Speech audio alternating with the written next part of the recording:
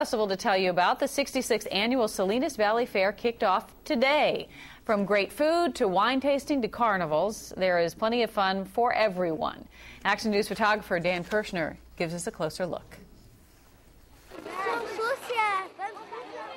A Diet Coke in a fair cup. And then a, and then a Dr. Pepper in a fair cup. Okay. This year is the 66th annual Salinas Valley Fair in King City. We're celebrating farm fresh fun and lots of fun entertainment.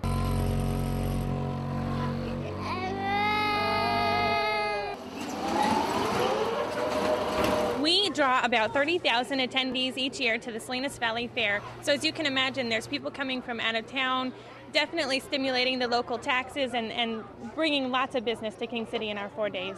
All right, let's get started. See how quick we can have dinner on the table here. Well, I've been checking out this Ferris wheel. Well, anyway, it's really cool, except I'm afraid of heights. It is fabulous weather. This we couldn't ask for better fair weather. Our main attraction this year is a Wild About Monkeys show. There are three shows daily in our family area and lots of great entertainment all weekend long.